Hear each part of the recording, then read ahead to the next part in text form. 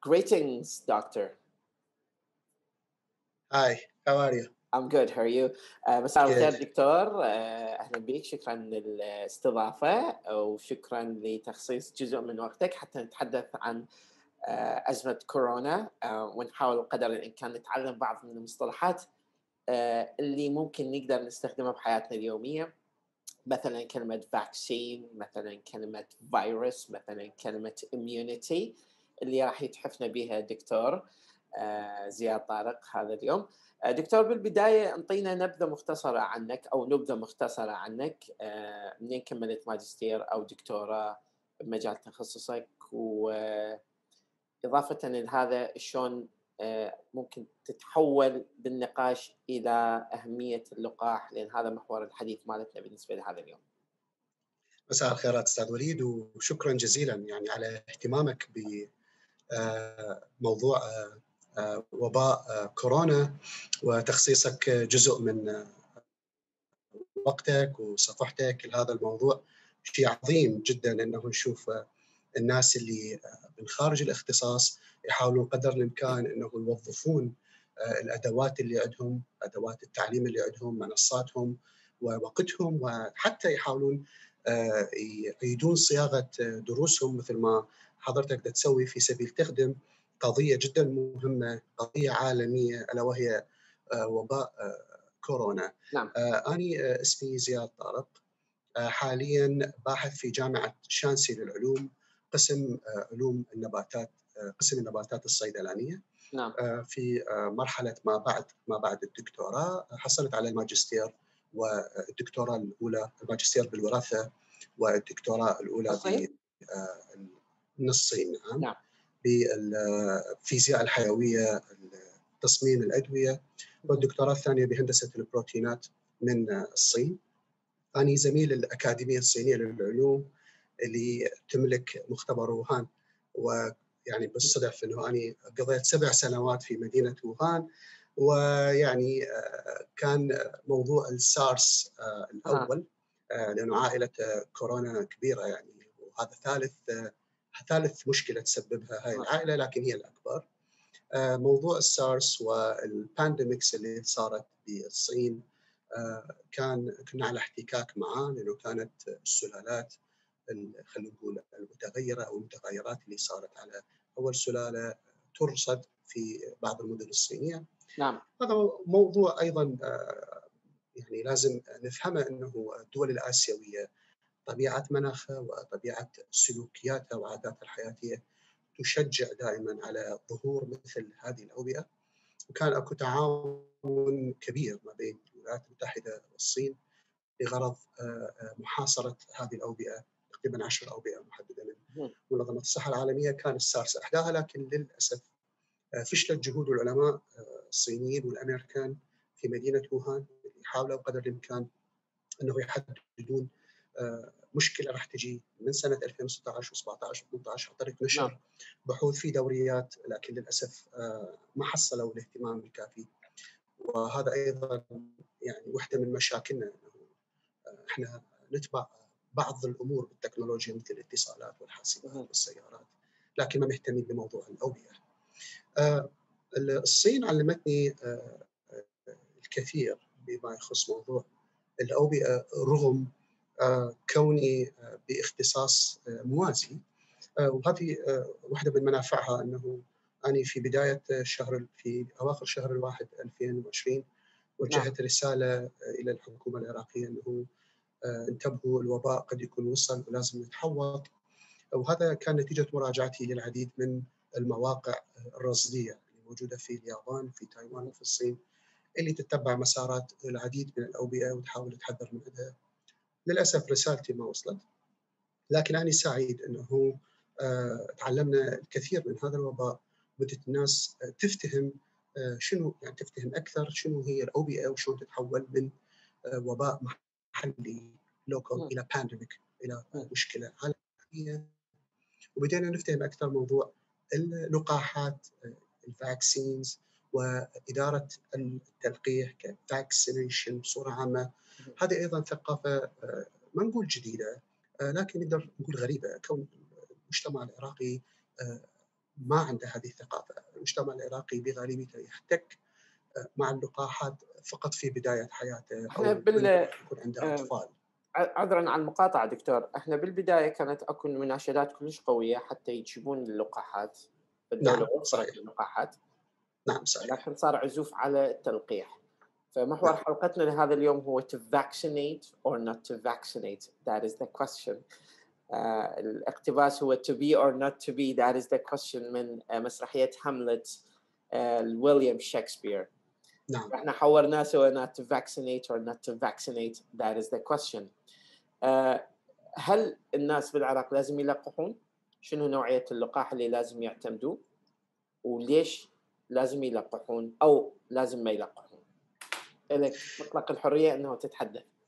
شكرا جزيلا. uh, بالبداية uh, to vaccinate or not to vaccinate لا لازم نروح مع vaccinate لازم آه، كنا نلقح مو بس بالعراق لا بالعالم كله لأنه هذا وباء والسبب ليش لازم نلقح؟ لأنه الأضرار الاقتصادية والصحية المتحصلة نتيجة الإصابة هي أعلى من سيطرتنا، أعلى من نعم. قدرتنا. نعم. أعلى من طاقة مؤسساتنا الصحية. آه طيب اي نوع لقاح؟ كل اللقاحات الموجودة حاليا هي لقاحات فعالة بغض النظر عن الجهات الصحية اللي صرحت لها. بمعنى لو صرحت الولايات المتحدة لمجموعة من اللقاحات هذا لا يعني إنه بقية اللقاحات غير جيدة نعم. إذا ما تم تصريحها في دولها. آه هذا يرجع إلى خاصية آه المؤسسات أو الهيئات الرقابية الدوائية في تلك الدول. صحيح الأمريكية هي الأوسع والأكبر لكن هذا لا يعني أن بقية اللقاحات المنتجة هي غير صحيحه أو غير جيدة لا آه، العامل المشترك ما بين هذه اللقاحات كلها واللي يحدد نجاحها من فشلها هي التجارب السريرية، التجارب السريرية آه، أو الكلينيكال ترايلز اللي سوتها هذه الشركات في سبيل تكسب ثقة المجتمع العلمي الـ scientific community وهذا المجتمع هو اللي يحدد آه، ما إذا كان هذا اللقاح جيد وآمن أو لا عن طريق متابعة نتائج الكلينيكال ترايلز التجارب السريرية. وهذا يكون منشور بدوريات يعني يعني مجلات طبية وعلمية نسميها الدوريات رصينة. فبالتالي لا فرصة للتلاعب. الجيد في هذا الموضوع إنه بسبب وباء كورونا تحقق عندنا أفضل هدف لتحديد فعالية لقاح أو علاج في يعني في زمن جائحة وهو كثرة الإصابات، كثرة الإصابات خلت الشركات مرتاحة وأعطتها المرونة أن تجري تجاربها السريرية داخل مجتمعات موضوعه وتوفر لها عدد متطوعين كبير. نعم. وهذا كان عامل حاسم في أن نحصل على أكثر بعض الشركات حصلت أكثر من خمسين ألف متطوع نعم. وبالتالي يعني كان ماراثون النتائج كانت هائلة وكلها واعدة فنرجع نعم. للنقطه جميع اللقاحات الحالية الموجودة على الساحة هي فعالة وأي لقاح ممكن تأخذه راح يأمن لك الاحتمال. أنا هذا السؤال راح أسأله بس هذا ما يعني أنه أنا مؤمن بهذا السؤال نعم. لكن آه، مرات إحنا أكو فد عملة اجتماعية سائدة لازم نعالج يعني إحنا مثلا آه، على نعم. اللغة آه، كثير من الناس يقول تعلم اللكنة البريطانية لانها لكنة الملوك وكذا. فإحنا أنا يثير حفيظتي هذا السؤال. نعم. آه ويثير حفيظتي هذه النوعية من التصريحات حقيقة من ناس غير مختصين. آه فاكو نعم. سؤال آه دخلت في جدال مع بعض الأشخاص عليه أنه يقولون آه أنه اللقاح يغير الجينات البشرية. وبعض الناس يقولون اللقاح نعم. مصممي اليهود حتى يقضون على المسلمين بعض الناس يقول اللقاح يسبب الضعف آه، الجنسي ويسبب التشوهات الخلقية وحقيقة يعني التصريحات آه، غريبة عجيبة في المجتمع العراقي. شنو تعليقك على هذه التصريحات وأنا متأكد أنت على احتكاك بها على مدار اليوم. أكيد آه، أنا هم مريت مثلك بمثل هيك يعني خلينا نقول فرضيات أنا كنت أقدر أتعامل مع الناس اللي بعيدين عن الاختصاص كان إقناعهم أسهل.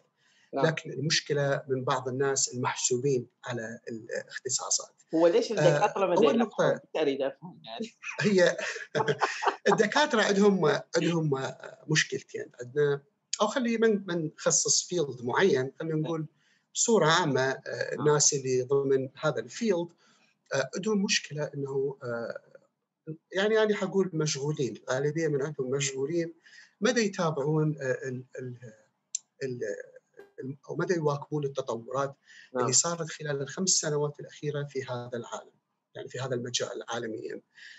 ولا تنسى إنه إحنا من نجي نقول الطب اختصاص يعني إذا نجي نقول على الطب الطب يشمل اختصاصات عديدة.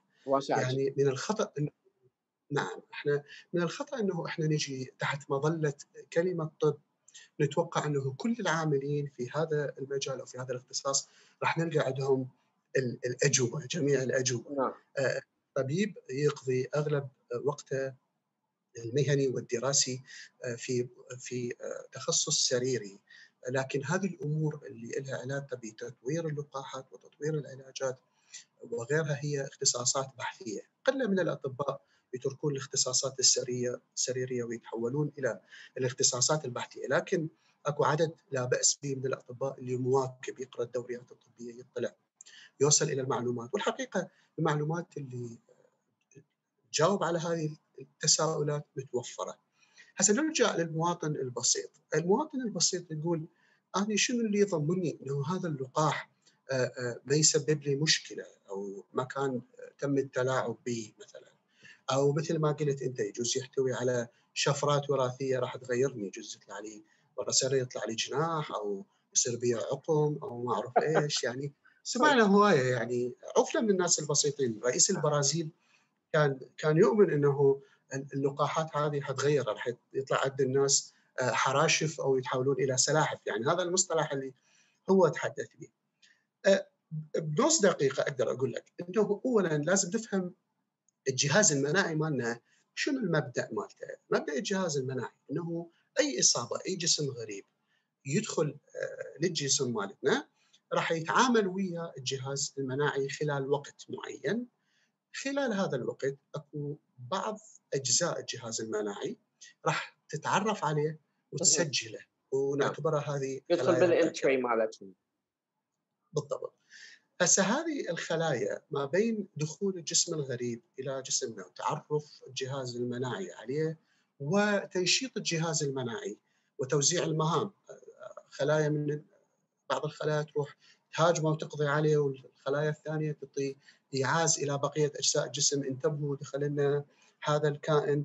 والخلايا الأخرى اللي تسجل شلون جهاز الاستخبارات؟ يسجل معلومات مثل الديتابيس بالضبط. هذه هي دورة حياة الجهاز المناعي نعم. في حالة الإصابة. بس المشكلة وين؟ إنه بعض الممرضات خلال هذه فترة التنشيط المناعي تسبب لنا أضرار نعم. آه، أو ممكن إنه هي تتغلب على جهازنا المناعي. هذا طبعا شيء متفاوت من إنسان إلى إنسان خصوصا إذا كانت عندك عندك مرض مزمن عندك إصابة آه، آه، صارت بنفس الوقت مع هذا الممرض ممرض باثوجين. صارت مع هذا المرض. عندك مثلا مشاكل ثانية كبير بالسن تتعاطى أدوية لها علاقة بالمناعة هنا راح تصير عندنا كارثة. فإجتي اجى علم اللقاحات وقال إحنا ليش ما نعرف الجهاز المناعي على أجزاء من هذا الباثوجين من هذا الممرض ونسوي الخطوة الخطوات كلها يعني كنترولد مسيطرة عليها. فإحنا نعطي للجهاز المناعي. أي variable موجود يسيطرون عليه. أغلب الـ variables اللي موجودة يسيطرون بالضبط. فبالتالي إحنا راح نوفر التحفيز والتنشيط وخلق خلايا الذاكرة. هذه الخلايا راح تكون مستعدة. إذا ما اجى الـ pathogen الحقيقي مو اللي صنعنا عليه اللقاح الجهاز المناعي راح يكون مستعد له مباشره نعم. يقضي. عليه. طيب. هسه هذه العملية على أساسها إحنا ما نقدر ندخل الـ pathogen نفسه. لازم ندخل أجزاء من عنده نعم. أو نقتله بمعنى إنه نقضي على عامل الضراوة الـ virulence factor اللي ادى فمن تاسست يعني إحنا راح نضرب مثال على لقاح شائع. الكل ماخذيه والكل يشوف شافوا بعينهم شلون اولادهم ياخذوا؟ اللي هو لقاح شلل الأطفال نعم. البوليو لقاح شلل الأطفال يعني من اللقاحات اللي مرت بنفس مشاكل حاليا كوفيد أول ما نزل طبعا كانت هذا مشكلة يسبب هلاكات كبيرة ويسبب مشاكل للأطفال في تلك الفترة. أول لقاح نزل في الولايات المتحدة كان سنة 1955 سواه العالم سالك جوناس سالك هذا كان من نوعية اللقاحات اللي يسموها inactivated. يعني ياخذون particles أو أجزاء من فيروس البوليو شلل الأطفال ويحقنوها للأطفال. كانت أيضا حقن. طبعا هذا هم في البداية سب صار به مشاكل وناس رفضته وصارت عليه ثيوريز لكن حاليا هو نقدر نقول من أكثر اللقاحات المعتمدة. صارت عليه تعديلات سنة أعتقد 61 اجى عالم ثاني اسمه نسيت اسمه. اجى عالم ثاني سواه صار قطرات. غير جاب نفس الفيروس سواه inactivated سواه weaken يعني ضاعفه. قتل المادة الوراثية اللي تسبب انتشار الفيروس وبالتالي بقى هيكلة فقط اللي يسبب التحفيز المناعي. هسه هذه اللقاحات إحنا نسميها اللقاحات الكلاسيكية.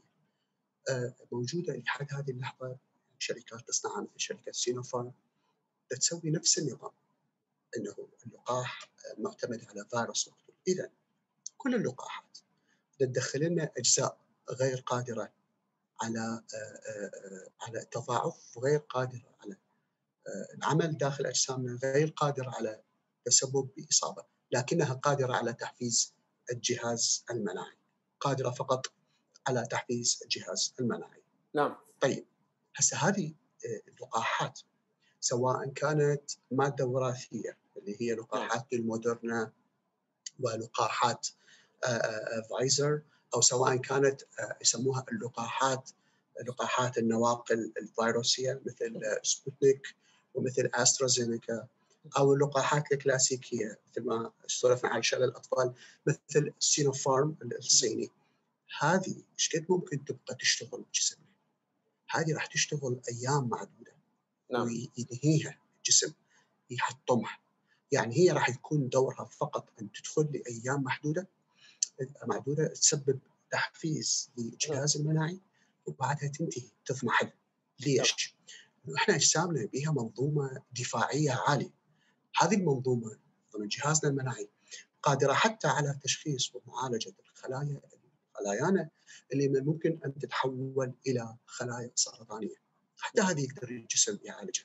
عندنا حتى نظام مراقبة الخلايا تنقسم الجسم. أكو منظومة أكو مجموعة إنزيمات تعمل على تدقيق الدي ان اي يعني نشوف إذا صار أي خلل يعني إحنا يعني إحنا هسه فبالتالي إحنا عندنا منظومة منظومة جدا عالية. نقدر نقول هسه إحنا عندنا القبة الحديدية المناعية. لا إحنا عندنا أفضل من القبة الحديدية. أفضل من القبة. ليش؟ لأنه إحنا جهازنا المناعي جهازنا المناعي عنده القدرة على إنه يسوي تحديث upgrade للمعلومات اللي عنده. يعني أنا أشبه لك جهازنا المناعي شلون يشتغل.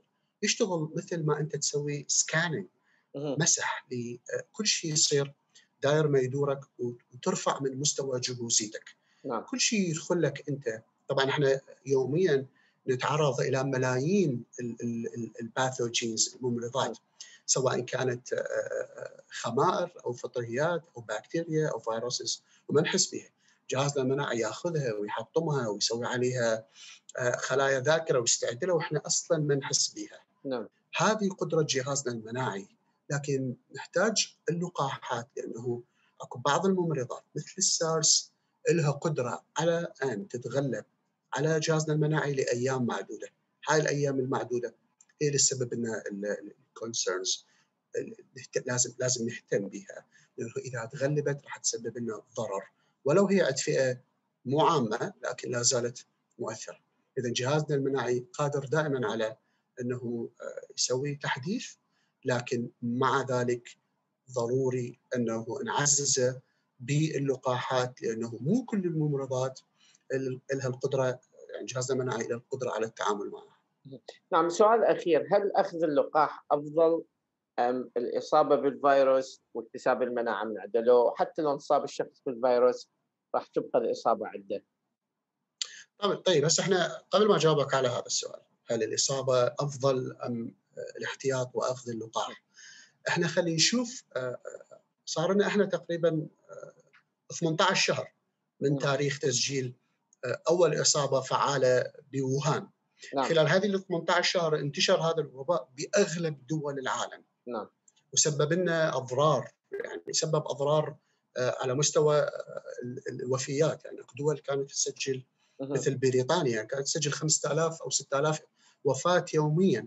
نعم. أكو دول اقتصادها يعني اقتصادياتها انتهت مثل إيطاليا على سبيل المثال. أكو دول عانت من إغلاق رغم هي سيطرت بالتباعد الاجتماعي لكن الإغلاق سبب لها أضرار اقتصادية مثل الصين. نعم. لو كان هذا الممرض من النوع اللي نقدر نستغني عن اللقاحات به ونقول فقط الإصابة وخلاص. نعم. شنو اللي سبب هاي الكوارث لهذه الدول؟ بالضبط. ليش ما قدرنا قدرنا نخلي يعني خلينا نقول عامل زمني إنه يجوز خلال شهرين ثلاثة خمسة إحنا لا زلنا 18 شهر ولا زلنا نعاني منه. نعم. الأسباب هي اولا هذا الممرض كعائلة عندها القدرة على أن تولد سلالات نتيجة إصابة المجتمعات. نعم. فبالتالي إحنا نشوف تولد السلالات يصير نتيجة إصابة مجتمع، مجتمع ينصاب ينصاب ما متحوط. ممكن هذا المجتمع الغير متولد متحوط أثناء إصابته يولد لنا سلالة جديدة. يولدها بسرعة. وهذا اللي نلاحظه إنه بدينا بسلالة ووهان كانت سلالة ووهان تحتاج 21 إلى 28 يوم حتى تشخص بعدين انتقلنا إلى السلالات الأوروبية نزلنا إلى سبعة آه، إلى 14 يوم. بعدين انتقلنا إلى السلالة الأفريقية البريطانية اللي صارت أقل. وحاليا السلاله الهندية اللي هي خمس خمس أيام. ممكن خلال خمس أيام يتوفى المصاب. اذا اللي صار صار تحور سريع بالسلالة. مو زادت خلينا نقول صارت قاتلة أكثر. هذا مصطلح غلط لا صارت أسرع على الانتشار وأسرع بالارتباط بالريسبتورات المستقبلات اللي موجودة على خلايانا. معناها صارت أكثر ضراوة. تحولت إلى أكثر ضراوة. هذا عامل مهم. العامل الثاني نسبة الأضرار اللي تسببها هذه السلالة أو عائلة كوفيد. الأضرار إحنا ممكن أكو ناس هوايه أكو ناس صار بيهم وتعالجوا وتشافوا لكن لا زالوا يعانون من أضرار آه، ما بعد كوفيد العديد من عندهم تسببت لهم الإصابة بدامج بضرر بالرئة أو بالبنكرياس. والعديد من عندهم أو الغالبية نقدر نقول ارتفع عندهم معدل آه، آه، الإصابة بالجلطات. نعم. يعني هسه إذا تراجع مستشفى مدينة الطب مثلا تروح على وحدة الوحدات العناية المركزة الخاصة بكوفيد وتسألهم إيش قد عدد المتشافين ورجعوا لكم وعندهم جلطات أو قسم ما رجعوا توفوا. يقولوا لك العدد جدا عالي. اذا هذه حتى أضرار ما بعد التشافي موجودة عند هذه السلاله طيب أكو مسألة أخرى إنه الناس اللي تنصاب شخص انصاب والتجأ إلى العلاج العلاجات مو رخيصة ومو بسيطة. مكلفة مكلفة. يعني أكو كلفة أكو كوست عالي. تروح تسوي الأشعات بالشيء الفلاني تأخذ الفحوصات بالشيء الفلاني تشتري أدوية بالشيء الفلاني إضافة إلى انك راح تكون معرض إنه تصيب غيرك آه، الأعراض اللي مروا بها لا تصدق حقيقة يعني آه، صحيح. نوصف كمية الألم اللي يمر بها الشخص آه، المصاب تحديدا وطبعا طريقة متفاوتة. سؤال أخير أستاذ نعم. دكتور دكتور زياد هل الفيروس هو سلاح بيولوجي؟ وشنو النظرية الأخيرة على الطريقة أو السبب اللي انتشر به الفيروس رأيك الشخصي. طيب بس أكو نقطة أكمل بها نعم. السؤال الأخير. حتى نطمئن إلى أنه اللقاحات هي السبيل الوحيد حتى نخرج من هذه الأزمة. نعم. لازم نباوع على بريطانيا، بريطانيا اللي صار أسبوع مسجلة حتى أمريكا طبعا. حتى أمريكا. حتى أمريكا. لا بس أنا أحب بريطانيا ليش؟ لأنه بريطانيا اعتمدت على لقاح أسترازينيكا. هذا اللقاح صار عليه لغط. إذا وفرت لنا حلقة بالمستقبل ممكن إنه نحكي على اللغط اللي صار على أسترازينيكا. قدرت بريطانيا تسيطر باللقاح. نعم. قدرت بريطانيا تسيطر باللقاح. انتهت عندها الوفيات. رجعت فتحت من جديد. وأيضا حتى تسجيل الحالات تقريبا قل إلى مئات. بدل نعم. فهذا دليل ملموس وواضح وبالأرقام يعني الرياضيات لا تكذب على أنه الحل الوحيد للخروج من هذه الأزمة هي باللقاح وليس بانتظار الإصابة. نرجع إلى رأيي. اولا الأسلحة البيولوجية معروفة نعم. وكل الدول ماخذة هذا ماخذة هذا الجانب وأكيد ما حد راح يصرح لك. يعني أمريكا ما راح تقول هي شنو الترسانه اللي عندها ولا تشتغل عليه شنو. ولا الصين ولا روسيا ولا غيرها. نعم. بالتالي إحنا يعني كمختصين نعرف إنه هذه الدول يعني عندها من خلينا نقول الأنظمة السياسية والأنظمة العسكرية عندها من ال شو نسميه العنف أو شو نسميها يعني عندها من الرغبة بالإيذاء ما يخليها تحاول توظف كل شيء في سبيل تخلق سلاح فهذا الشيء آه، ما نختلف عليه لكن هل. أي ما مستبعد لكن هل هذه العائلة تم استخدامها أو تجنيدها لصنع سلاح بيولوجي؟ لا. لأنه أي متابع لموضوع آه، تطور هذه العائلة من بدأت بالسارس مرورا بالميرس سارس صار عندنا سنة 2001 مرورا بالميرس الميرس الأول 2013 الميرس الثاني 2016 بعدها كوفيد. راح يعرف إنه أكو هواية علماء خصوصا بالصين. نشروا العديد من البحوث. وقالوا يابا هاي السلالات تتطور. الخفافيش هي إحدى النواقل الموجودة في مقاطعة يونان بالصين. نعم. هذه إحنا دا نبني بيوت دا نتحرك باتجاه محمياتها الطبيعية. راح نحتك بها ممكن ننصاب. يا ناس هذا التسلسل الجيني لهذا الفيروس. هذه المشاكل ممكن يسويها لكن ما حد استمع.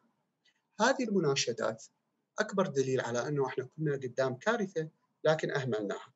وهذه المناشدات موجودة يعني أكو أكو محركات بحث آه، واحد من عندهم اسمه ال NCBI إذا تروح تسوي search بسيط على هذه البحوث راح تلقاها منشورة منشورة كاملة وكانت تتوقع حصول هذا الشيء. هذا يفند آه، نظرية آه، إنه هذا اللقاح أو عفوا هذا الوباء جاي نتيجة تصنيع مختبري أو أكو فد هيومن ميد فيروس لا هذه يتفند هذا نجي إلى مو وجهة نظري بس خلينا نقول المجتمع العلمي المهتم بالأوبئة كله يتوقع أنه هذا اللقاح أو عفوا هذا الوباء تسرب آه، عن طريق خطأ غير مقصود من إحدى المختبرات يعني ممكن يكون من هذا المختبر. نعم. مختبر ووهان للفيروسات طبعا راح فريق من ال WHO عمل دراسة لكن للأسف أغلب آه، نتيجة عمليات التعفير نتيجة عمليات ال control اللي صارت على المناطق اللي مشكوك بأنه آه، تسرب من عندها الفيروس فقدنا أهم يعني أدلة آه، مهمة. لكن اللي مثلي مشتغلين بمختبرات السلامة يعني المختبرات المتخصصة بهذا الموضوع يعرفون كل زين إنه هذه الأخطاء واردة نسبة الضرر اللي ممكن أي عامل نتيجة خطأ بشري بشر يعني مو روبوتس ممكن إنه تصير ممكن يسبب ضرر ممكن إهمال تتسرب هذه الأوبئة. فعلى الأكثر يعني وأنا هذا شيء مقتنع به. إنه هذا الفيروس تسرب عن طريق نعم. خطا من إحدى مختبرات العزل أو مختبرات التشخيص. دكتور هذا إن شاء الله مو لقائنا الأخير للحديث بقية أنا أشكرك وأشكر تخصيصك لهذا الوقت حتى تتحفنا بهاي المعلومات اللطيفة والجميلة والمثرية حقيقة في مجال فهمنا وإدراكنا لأهمية الفاكسينز واللقاحات الخاصة بالكوفيد 19 أنا أشكرك نبقى على اتصال إن شاء الله شكرا جزيلا مثل ما ذكرت في البداية أنه اللقاء الأول دائما يخليك يفتح لك بوابة لنوعية اللقاءات الأخرى اللي راح تستجد بهذا الجانب.